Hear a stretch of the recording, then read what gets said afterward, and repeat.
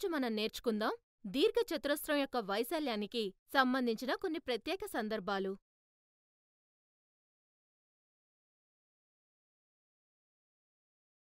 పది సెంటీమీటర్ల పొడవు మరియు ఆరు సెంటీమీటర్ల వెడల్పు గల ఒక దీర్ఘచతురస్రాకార కాగితాన్ని తీసుకోండి.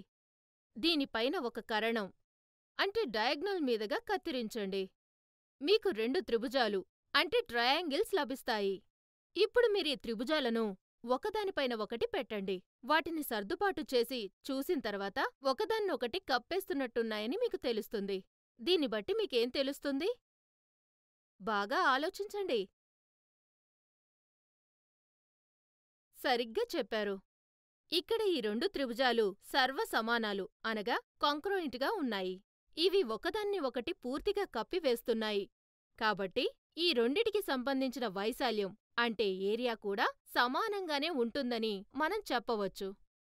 దీర్ఘచతురస్రాన్ని రెండు సమాన భాగాలుగా విభజిస్తున్నందున దాన్ని బట్టి మనం చెప్పవచ్చు ప్రతి త్రిభుజం యొక్క వైశాల్యం దీర్ఘచతురస్ర వైశాల్యంలో సగం ఉంటుంది. ప్రతి త్రిభుజం యొక్క వైశాల్యం ఈజ్ ఈక్వల్ ఒకటి బై రెండు ఇంటూ దీర్ఘచతురస్రం యొక్క వైశాల్యం. ఈ విధంగా ఇక్కడ ప్రతి త్రిభుజం యొక్క వైశాల్యం ఈజ్ ఈక్వల్ ఒకటి బై రెండు ఇంటూ దీర్ఘచతురస్రం యొక్క పొడవు ఇంటూ దీర్ఘచతురస్రం యొక్క వెడల్పు అనగా ఒకటి బై రెండు ఇంటూ పది సెంటీమీటర్లు ఇంటూ ఆరు సెంటీమీటర్లు ఈజ్ ఈక్వల్ ముప్పై సెంటీమీటర్ల స్క్వేర్. ఇప్పుడు ఎనిమిది సెంటీమీటర్ల భుజంగల ఒక చతురస్రాకార కాగితాన్ని తీసుకోండి. దీనికి రెండు వికరణాలు గీసి ఈ రెండిటి మీదగా కత్తిరించి దీనిని నాలుగు భాగాలు చేయండి. మీకు నాలుగు త్రిభుజాలు లభిస్తాయి. ఇక్కడ ఇవన్నీ సర్వసమానాలేనా? బాగా ఆలోచించండి.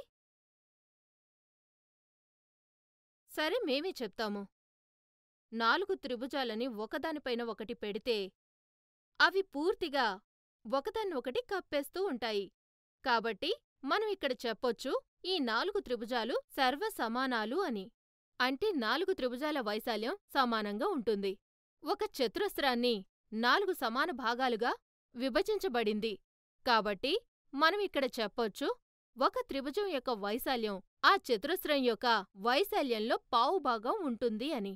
ఈ విధంగా ప్రతి త్రిభుజం యొక్క వైశాల్యం ఈజ్ ఈక్వల్ ఒకటి బై నాలుగు ఇంటూ చతురస్రం యొక్క వైశాల్యం.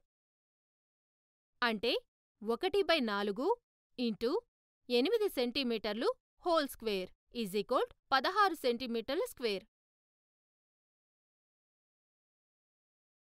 ఇదే విధంగా పన్నెండు సెంటీమీటర్ల పొడవు మరియు ఏడు సెంటీమీటర్ల వెడల్పు గల దీర్ఘచతురస్రం ఏబీసీడీని చిత్రంలో చూపిన విధంగా రెండు సర్వసమానాలు అంటే కాంక్రీట్గా భాగాలు చేశారు. ఇక్కడ ఏఈపిక్యూఎఫ్డి సిఎఫ్క్యూపీఈబీకి సర్వసమానంగా ఉంటుంది. ఇప్పుడు మీరు చెప్పగలరా ప్రతి భాగం యొక్క వైశాల్యం ఎంతుంటుందో? బాగా ఆలోచించండి. మీరు చెప్పిన సమాధానం సరైనది. ఇక్కడ దీర్ఘచతురస్రాన్ని రెండు సర్వసమాన భాగాలుగా చేశారు కాబట్టి రెండు ఆకృతుల వైశాల్యం సమానంగా ఉంటుంది. దీన్ని బట్టి మనం ఏం చెప్పగలమంటే ప్రతి భాగం యొక్క వైశాల్యం దీర్ఘచతురస్రం యొక్క వైశాల్యంలో సగభాగం ఉంటుంది అని. అంటే దీని వైశాల్యం ఒకటి బై రెండు ఇంటూ పన్నెండు సెంటీమీటర్లు ఇంటూ ఏడు సెంటీమీటర్లు ఈజ్ నలభై రెండు స్క్వేర్ సెంటీమీటర్లు. ఇప్పుడు ఈ చతురస్రాన్ని చూడండి. దీనిలో వివిధ భుజాలు సర్వసమానత్వం ఈ విధంగా ఉంటుంది. అనగా చతురస్రం ఏసీఈజీని ఎనిమిది సర్వసమాన భాగాలుగా విభజించడం జరిగింది. చతురస్రం యొక్క భుజం పొడవు పది సెంటీమీటర్లైతే ప్రతి భాగం యొక్క వైశాల్యం ఎంతవుతుంది? బాగా ఆలోచించండి. సరే మేమే చెప్తాము. ఇక్కడ పది సెంటీమీటర్ల భుజంగల చతురస్రాన్ని ఎనిమిది సమాన భాగాలుగా విభజించడం జరిగింది. ఇక్కడ అన్ని భాగాలు సర్వసమానాలు. కాబట్టి మనం చెప్పవచ్చు వీటి వైశాల్యం కూడా సమానంగా ఉంటుంది అని.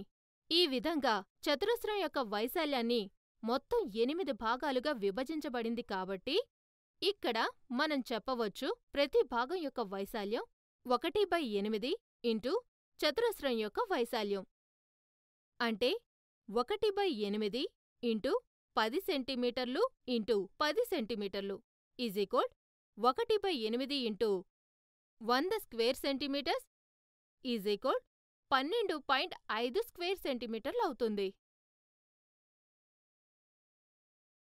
ఇప్పుడు మీరు దీన్ని సొంతంగా కనుక్కోండి. ఇక్కడ పద్దెనిమిది సెంటీమీటర్ల పొడవు మరియు పన్నెండు సెంటీమీటర్ల వెడల్పు గల దీర్ఘచతురస్రం యొక్క చిత్రంలో చూపించిన భాగాలు సర్వసమానాలైతే ప్రతి భాగం యొక్క వైశాల్యం ఎంతవుతుంది అని. ఈ రోజు మనం నేర్చుకున్నాం దీర్ఘచతురస్రం యొక్క వైశాల్యానికి సంబంధించిన సందర్భాల గురించి.